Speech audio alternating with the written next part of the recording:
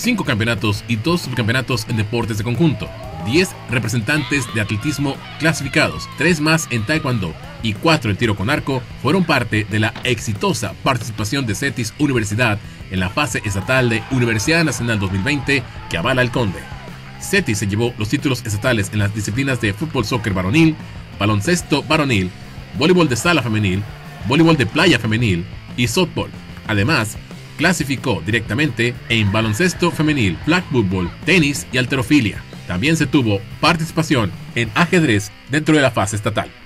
En materia de voleibol, Zorros Femenil ya están en regionales tras tres contundentes triunfos de 3 a 0 cada uno sobre Xochicalco, UABC y Tec Mexicali. La misma dosis se repitió al día siguiente en modalidad de playa, donde Jimena Tona y Carolina Nevares derrotaron a Tec Mexicali y a Xochicalco, cada uno en dos sets.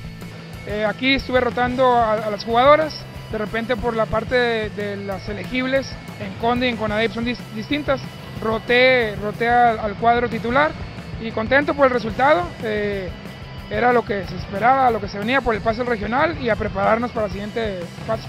Pues el regional obviamente va a venir con más, más nivel, lo que son la UAS y, la, y el Itson. Este, lo que se espera del regional es pues pasar al nacional, ya sea como primero o segundo lugar, pero estaría perfecto pasar como pues primero.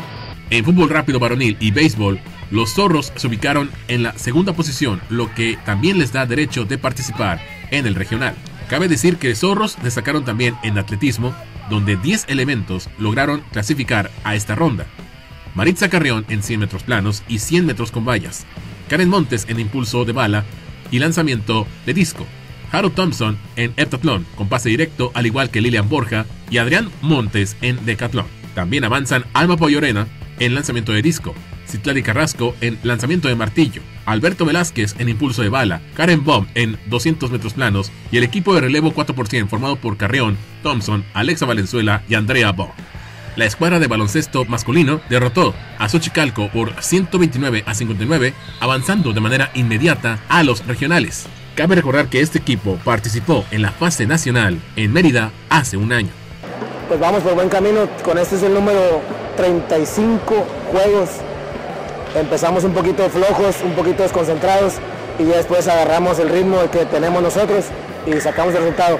Yo creo que estamos listos, hay que ajustar algunas cositas como el inicio y estamos listos para el regional. Sí, será un juego muy importante que teníamos que dar para avanzar, agarrar confianza para la etapa regional una etapa más dura que ya conocemos a los rivales, que sabemos del trabajo que hemos hecho y de los que somos capaces y va a ser una bonita experiencia y ojalá podamos sacar el resultado en el regional también. El Taekwondo también vio triunfar a representantes de CETIS como Alfonso Márquez, quien sin pelear pasó directo al regional por ser campeón vigente.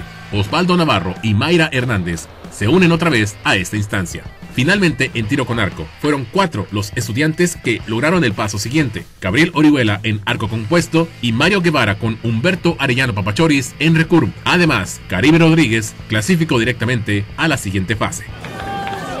En resumen, alrededor del 95% de la delegación de los zorros consiguió su clasificación a la siguiente etapa de la competencia, que se va a realizar del 17 al 26 de marzo en Mexicali, Hermosillo y Ciudad Obregón.